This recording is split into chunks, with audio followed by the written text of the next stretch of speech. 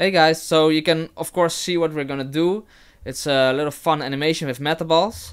And let's go into Blender and I'm gonna delete the main cube and I'm gonna show you a little bit of uh, metaballs. So here we have a metaball. You just click on Shift A, you can add one.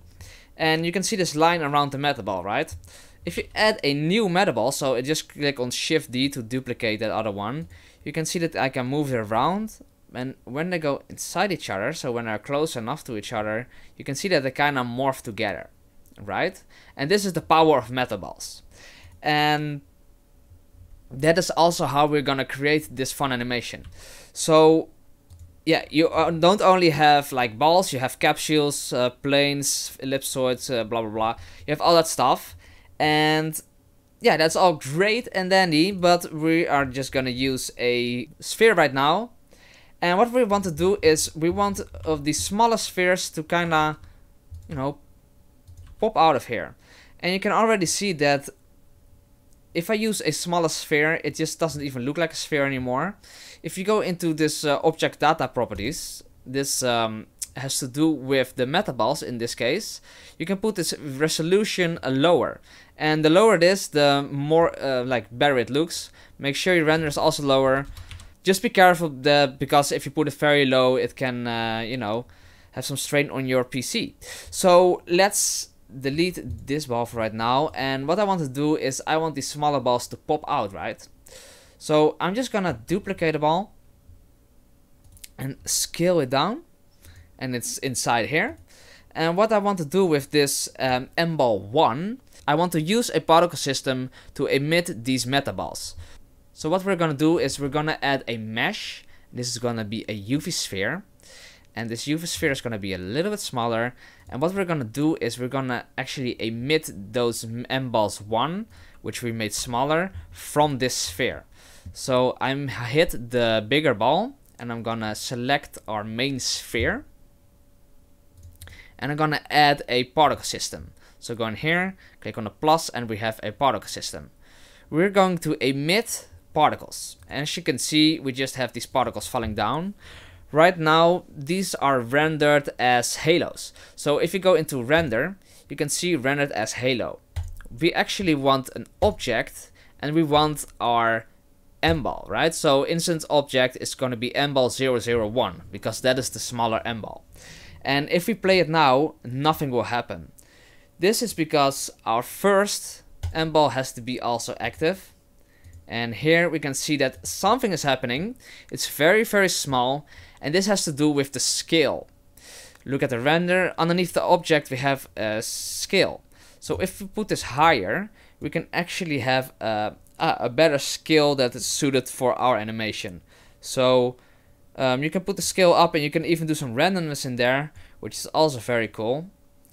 And if we play it now, you can see that we have a very nice yeah, animation going on. This is not really the way that we wanted it. And first of all, I want way less, um, like the amount way less. So let's do a hundred of these balls. And I don't want them to fall down. So if we go here into our field weights, we can change this gravity. So we just put all the way to zero and this will make sure it doesn't fall down. So now that will get just emitted into, you know, the air. And they go too far, as we can see. You can change this in multiple ways. First of all, I think they're going too far, but I also think they will go too fast. So what I want to do is, I'm going here into the velocity and put this velocity normal a little bit lower. What this does, it just, um, yeah, the velocity is like the speed at which it gets um, like thrown out. It's get emitted. So if I put this at 5, it will go way faster. Let's look see? And this is why we put it lower, like 0.1. 0.1. And then if we play it, you can see that it goes uh, very slowly. Maybe even too slow, maybe 0.15 is more of what we are looking for. Yeah. And if you like it, you can still change the amount of your, uh, like how many you emit. I think in my other one I did like 50. So I'm also to do it here. and the lifetime you can essentially put a bit higher. So what that does is you can see that they die off, right? So um, here it's alive and then they just pop out of existence. They essentially at that point they die. So if you put this lifetime up, let's say at 80 or 70, you can see that they will stay longer alive. And now this one will pop, pop, pop. See, so they're just staying a little bit longer alive, which can be good uh, or bad depending on what you want. Um, maybe I'm gonna put it at 70, and um, you can also do a randomness there. Uh, in this case, I'm not going to do that, but that's of course also an option. So this already looks very, very nice. And what we want to do is we want to give this some yeah, some cool materials, right? So what I want to do is I'm gonna move this up grab another one here and uh, get a shader editor. Now I'm gonna select our metaball, like a big one, and click on new material, and here we're gonna give it materials. So I also want to be in um, cycles. It also works in Eevee by the way, but um, yeah, I also want some glass material and that just doesn't work as good in Eevee as it does in cycles. I'm gonna put my device uh, to GPU because uh, mine is just faster and in performance I'm gonna put these tiles to 256 to 256 because that works better with the GPU. If you work with a GPU go higher tile size, if you work with a CPU go lower. And yeah, that's all great. So let's say we want to give this some materials. If we go here into our viewport shading, like the material section, we can see that we can already change our color to whatever we want. Very, very cool. But how do we get a different material on this sphere than on these other little small spheres, right? And we need to create a sort of a mask. So let's say I have another color in here. I'm just going to use a diffuse shader with a mix shader in between these two. You can see that they just get mixed at this point. So at if we put this uh, at 1, we will have it all the way white, which is this diffuse. I can also put it yellow to make it like a little bit more sense. And if I put it all the way at 0, it's gonna be uh, this blue color. And 0.5, they will be mixed together as they should be. So how do we create that these are different materials? It's um, not too hard. We need a color ramp and I'm gonna put this color ramp, uh, the color into the Fac of this mix shader. And with this color ramp we can change, it kind of works the same as uh, this Fac but we can change it a little bit more uh, precisely because we can put both these values uh, together to where we want. Now I also want to use a gradient texture. And this color goes into the Fac and instead of a linear we can already see what it does, right? It um, it uses our color ramp, but I don't want to do it linear. I want to do a spherical, and yeah, it doesn't really put the sphere like where we want it, right? It doesn't really do the spherical way that we want it. So the way to fix this is do a texture coordinate we put in here, and we're gonna put the object into the vector. And yeah, this makes it all the way blue, and I was kind of like messing around with this. And a way around this is actually get a empty in here, plane axis and scale it a bit up. And now we can see that if you go into the texture coordinate, we can actually select this empty. And I am not 100% sure why, but this fixes our problem. So now if we put these together, you have to find the right spot, by the way. Um, but you can see that you can match these ones together and you get this great result. So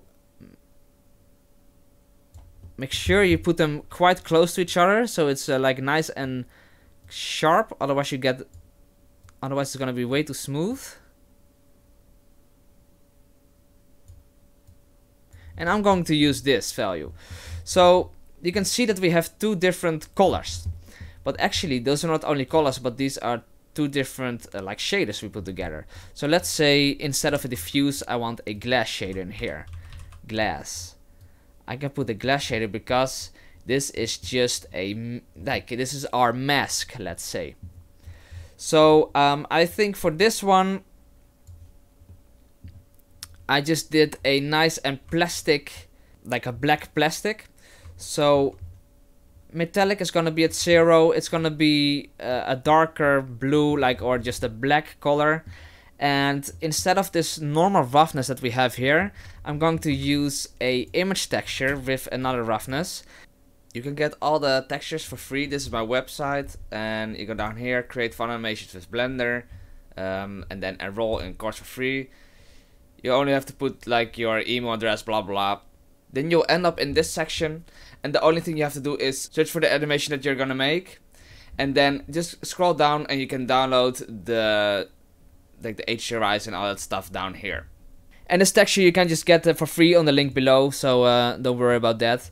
And now we go into the plastic gray, and it's gonna be plastic gray roughness. I personally do not really like the way this looks, so we have to see it in our viewport shading. And our viewport shading already doesn't have enough light. So I'm also going here into the world and add an environment texture.